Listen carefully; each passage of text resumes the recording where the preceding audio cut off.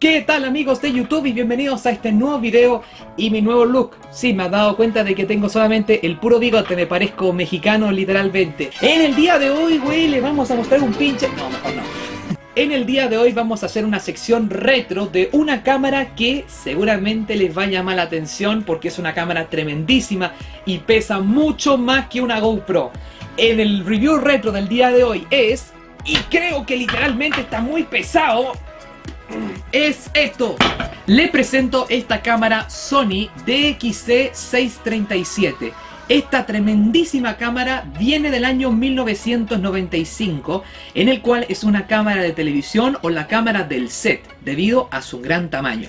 Y la parte más curiosa es que la cámara en sí está solamente en esta mitad, Claro, está dividida en una parte porque en este otro extremo tenemos el equipo VHS por el cual gestiona la grabación a la cámara. Y el modelo es un PVV3.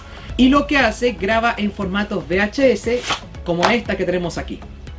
Vamos a girarnos en este costado y aquí nos encontramos con muchos botones y muchas características en este diseño de la cámara. Primero, nos encontramos aquí este compartimento para insertar dos baterías ambas de 220 miliamperios.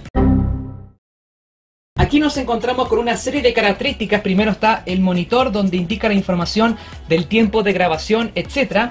Y si sacamos la tapa, aquí nos encontramos con muchos botones. Tenemos la configuración de la fecha y hora, la configuración de audio, etc. También nos encontramos con dos botones de encendido y apagado o switch. Este es el encendido y apagado para el equipo VHS. Y aquí es el encendido y apagado de la cámara. Y aquí en este filtro nos encontramos con este switch donde podemos cambiar el filtro de la cámara. Si puede dejar algo brillo, algo oscuro, etc. Y en este modelo el lente es intercambiable, por lo tanto si sacamos el switch que está aquí, podemos ver que podemos sacar el lente de esta cámara. En este caso el lente es marca Canon y tiene un zoom óptico de solo 12x. Y así es como se ve el cuerpo de la cámara donde se inserta el lente intercambiable. ¿Lo ves? Vamos a volver a su lugar.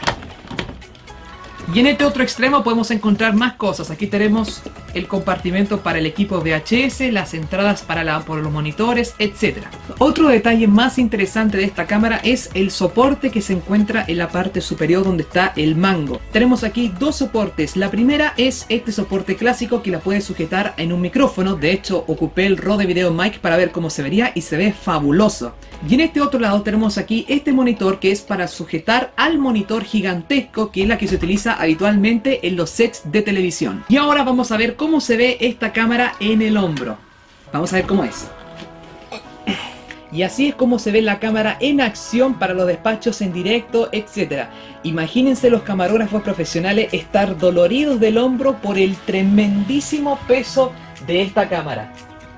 Y bueno chicos, ahí está entonces el review retro de esta tremendísima cámara de televisión, la Sony DXC637 y el equipo de VHS, la Sony PVV3.